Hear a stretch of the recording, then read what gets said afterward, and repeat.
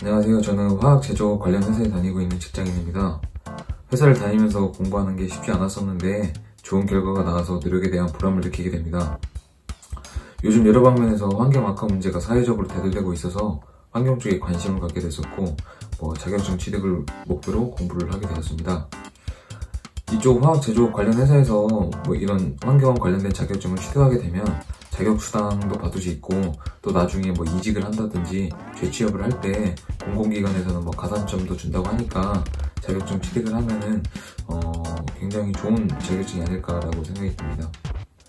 이번 필기 같은 경우에는 기출문제에서 나왔던 문제들이 대부분 나와서 크게 어렵지 않게 느껴졌습니다. 기출문제를 많이 풀어보고 오답노트 정리를 통해서 어렵지 않게 합격할 수 있었던 것 같습니다. 실기 필답형 같은 경우에는 제가 공부를 할 시간이 많이 없었기 때문에 기출문제를 위주로 공부를 했었는데 기출문제에서 나왔던 문제가 아닌 새로운 유형의 문제들이 많이 나왔었다고 느껴졌었습니다. 그래서 조금 어렵게 느껴졌었고 하지만 그 작업형 같은 경우에는 총인 시험만 공부를 하면 됐었기 때문에 고경미 교수님께서 알려주시는 그 실험 방법 그대로 이미지 트레이닝을 계속해서 좋은 결과를 받을 수 있었습니다.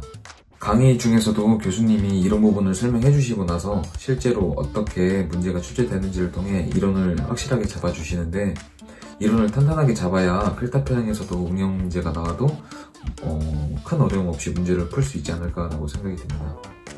교재는 뭐 다른 교재들에 비해서 얇은 편이지만 어, 저는 들고 다니기가 너무 무거워서 이런 식으로 나눠서 책을 들고 다녔었습니다. 그리고 뭐 따로 필기 노트는 준비는 하지 않았었고 교수님께서 필기해 주시는 거 중요하다고 말씀해 주시는 거는 이런 식으로 그냥 책 안에다가 이렇게 필기를 했습니다. 그리고 기출문제 같은 거를 풀고 나서 틀린 문제들은 모두 오답노트를 정리를 해서 이런 식으로 회차별로 이렇게 정리를 해서 시간 날 때마다 틈틈이 책 읽듯이 읽었었습니다. 수지로형 공정 기준이나 법규에서는 암기할 내용이 정말 많았는데 중요한 내용만 쏙쏙 뽑아주셨고 특히 앞글자만 따서 외우는 암기법을 알려주셨는데 처음엔 뭐 이게 뭐지?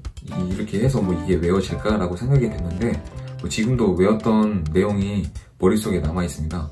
특히 뭐 어 최대 그 보존 시간 기간별 정리라고 해서 어 이런 이런 내용들이 나오는데 이거는 뭐 시험에 매번 나오는 내용들이라 뭐 디전 비수잔이라든지 용냄총, 전대효과 그리고 뭐 실험 보관 방법에서는 노시암총 이게 아직도 머릿속에 남아 있습니다.